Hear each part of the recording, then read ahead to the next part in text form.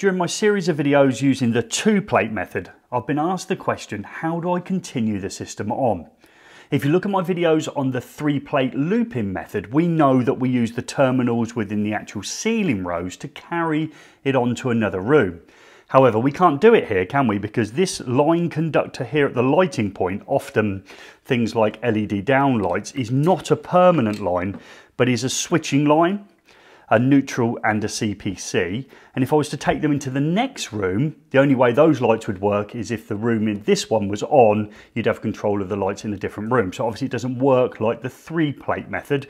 We're looking at the two plate method. So we need to find our permanent line, neutral and CPC connection in order to take it from the room we're currently in to the next room and continue on the system again. And in all of the two plate videos, this one being the one way this one being the two-way, and then obviously the two-way and intermediate system, we've always taken the feed to the switch. So we took it there to the switch, we took it the feed to the switch in the two-way method, and also in the one-way method. So when we want to continue this system on, we need to go to the switch in order to make our connections that will go into the next room. So let's have a look at that. We've got a cable here, which is our one millimeter squared PVC, PVC twin and CPC cable, often called on earth twin and earth. And we would need to take one of these with our permanent line connection, our circuit protective conductor and our neutral from the switch and take it into the next room. So let's simply do that on this one-way circuit first, then we'll look at it at two-way and two-way intermediate.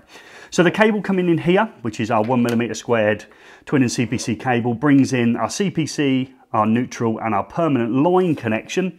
And if we follow it through in the back of the switch, it is actually in the common terminal. So it's in there in the common terminal of that switch, the permanent line. We've drawn some sort of little square here with a black pen. We're simulating there a connection such as a Wago, an Ideal Industries, standard connector block or butt or through crimp. It's, it's more beneficial not to be using this type now because obviously we can add or change these simply for one that can take more conductors.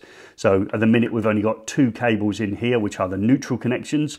So we could simply swap that in for a three conductor connector from Wago or likewise a three conductor connector from Ideal Industries. Neutral, permanent line, CPC in the actual back terminal of the box, if it's a plastic box or a metal box, etc. So we've got to find where the CPCs have been secured. So what we do then is we take a cable from here, picking up the connection for the neutral, the terminal there, which is our permanent live, this case in the common, and our CPC, and just take our cable to the next room. Remember, the route that this cable takes may be under floors, buried in walls, etc. We're just currently looking at the connections within the switch in order to take a cable to the next room in order to continue the system on. So this cable here would come out, you'd come out the same connector. Let's imagine we're coming up this way. We'd come out with our neutral connection. We'd need to bring one out of the common. We'd bring one out of the common and out to our next room. And we'd bring one out of our CPC. So we'd bring one out of here. So in order to go off to the next room. Now, some of my drawings, I have been striking these with a yellow. It looks like I didn't do it on this one, but yeah, my students like to do that. So what we do is we go to the switch when we're using the two plate method. We look within the switch for the connection for the neutral. We make our neutral connection. We pick up the CPC from wherever they've been terminated and we look for the permanent line, in this case, connected in the common of the switch. And we go off to the next room with this cable in our case, our one millimeter squared twin and earth cable goes to our next room. When that cable comes into the next room, we can either repeat the process that we've got here, take the feed to the switch and do a one-way circuit. Two-way we'll look at in a minute or two-way and intermediate, whatever we've got in that system. So we don't go here anymore because we know that this is only a switching line. Unlike the three-plate method on the channel, there's loads of videos on it. This is the two-plate method. So in order to pick the supply up to go to the next room, we have to go into the switch. So let's have a look at that on the two-way one. I'll bring that one in next, so I'll get it sort of positioned in the right place before we start. Okay, so here we go. We've got two-plate method using uh, two-way switching. Exactly the same as we just looked at. Up here in the actual light fitting itself, we only have a switching line conductor, a CPC and a neutral. So if we took this to another room, there's an issue, obviously because of the switching line.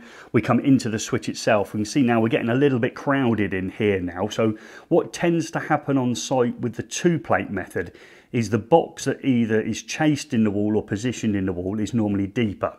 Now, if it's a dry line wall, they often use these style of boxes okay, in order to fit those in. And you can see from our work in the workshop that is considerably deeper than our normal lighting box. Well, it works for two ways then it gives us more space in here for the two plate method which is great which means that we don't have any issues with crushing cables. And obviously that's a standard depth as well for these boxes. You can't get them shallower than this. So that's a bit of a bonus to us. So when we're using the two plate method and say we've got a dry line or stud wall the box that's been placed in the wall is nice and deep which allows for more connections especially because we're using the two plate method and we're going to introduce another cable that goes to another room which makes more connections.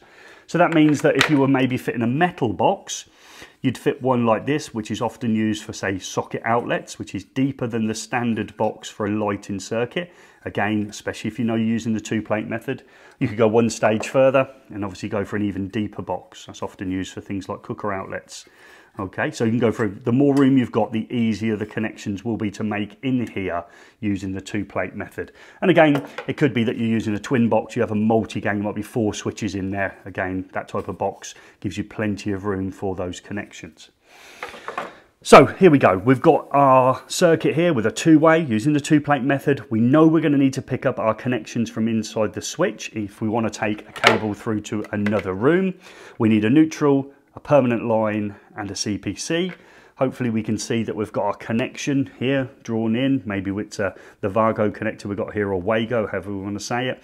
We're going to take a neutral from here, a CPC from here, but of course now we've got to be careful to work out which one is our permanent line connection.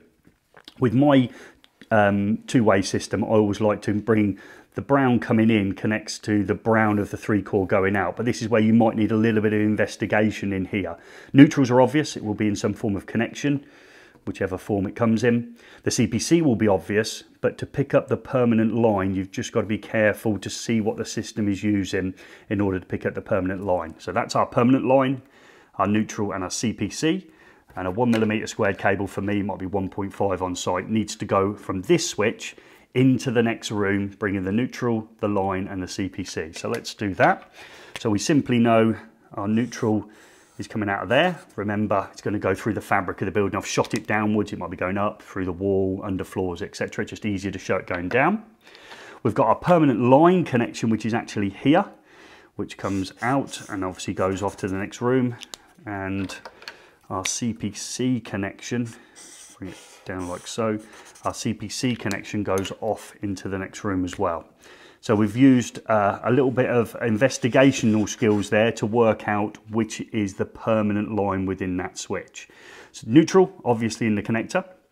We've got our CPC, possibly in the back of the box, etc. in its CPC terminal. And then we've got to pick up our permanent line in order that we can take the cable through to the next room and start again, line, neutral and CPC take the cable possibly down to the switch, repeat the two plate method in the next room. Hope this is becoming a little clearer as we go. There are other videos on the channel where I physically make these connections and talk about what's going on inside the one-way, two-way and intermediate switch using the two-plate method. This is the drawings that accompany those videos. There's also a link in the description for all my drawings um, I've done on the channel on lighting circuits. Feel free to download those and make your own wiring diagrams up as well. And remember, as I always say, my students should be using a ruler. Gaz is doing this upside down and he's doing it freehand as well. So let's have a look at the next one, which is our two-way and intermediate. Hopefully we're getting a feel for it now of where we're picking up the actual permanent connections from within each of these accessories. Let's bring this one in position it all like just there. Okay, so we've got, whew, gets more and more complicated as we go. We've got two-way and intermediate. Again, it's the two-plate method, so we've brought the supply into the actual switch. We know up here, we've got a neutral, a CPC, and a switching line. That's fine if we want to add extra LED downlights. So this video here was created from the original two-way and intermediate to show you how you can introduce more and more downlights in a circuit by simply bringing the switching line neutral and CPC to the light fitting, to the next light fitting and so on, and making the appropriate connections. Again, check out that video if you haven't already seen it. So we're back to how do we pick up from the three switches we've got now, the permanent line, neutral and CPC. Well, this one here contains the connector, the connector that will have our neutral in. This is the switch that we're concentrating on in order to make our connections. These ones here won't give us the terminations that we need in order to carry it on. So we're going to need the neutral, the CPC, and again it's it's clever that my system, I always use the permanent line onto brown. So if I open that switch up and I'd wired it, I'd know that that is the permanent line connection. Remember on site, there might be some investigation into the permanent line. Clearly you can see in some form of connector will be the neutral. We can clearly see the CPC, but we've got to investigate again before introducing our cable, which will bring permanent line, neutral and CPC from this switch and go into another room and continue the system on. Let's add those in. So again, let's take a neutral out of the block, goes into the next room. Let's take the CPC out of here and go into the next room. Again, let's put a little bit of yellow on that one just to make it a little clearer. Remember, you'd be using a ruler or not as the case may be. And then the permanent line connection for me is going to be here. I know that from my system, small investigation if you're unsure. And we go off into the next room. So we take that cable, a one millimeter squared twin and CPC cable off into the next room, permanent line, neutral and CPC from the connections in that switch. And again, look how crowded that is getting in there. So having a deeper box becomes a massive advantage. Remember, these are only one-way switches. So, uh, sorry, not one way, one gang switches, I apologise. So these are one gang switches. So there's only one switch on here, here and here, whether they be a two-way or an intermediate switch problem starts coming when we introduce two and three gang switches using the two plate method. So we've got three gang switches, here. there's three switches on here, two gang, two switches on here. All of a sudden we've got more and more cables coming into the box and obviously using the two plate method helps you at the lighting point. Could be that this is for kitchen spots, under pelmet lighting, so the lights underneath your kitchen units and an outside light. If we're using the two plate method with a three gang switch, it's going to get very crowded and you can now see the advantage of having a deeper box in order to make those connections. The more time you spend on site working with a two plate method, the more comfortable you'll become with it and the ease of the connections in there. Okay, so it's not difficult. Uh, it's just like everything. The more times you do it, the easier it's going to become. So in this video, we tried to show you in our three diagrams we've used using the two plate method that we can extend the circuit into another room by not coming out of the lighting point, but picking the permanent line, neutral and CPC up from the switch, whether it be a one, one way switching, two way or two way and intermediate switching and how we can make those connections. And as always, I hope this video has been some help.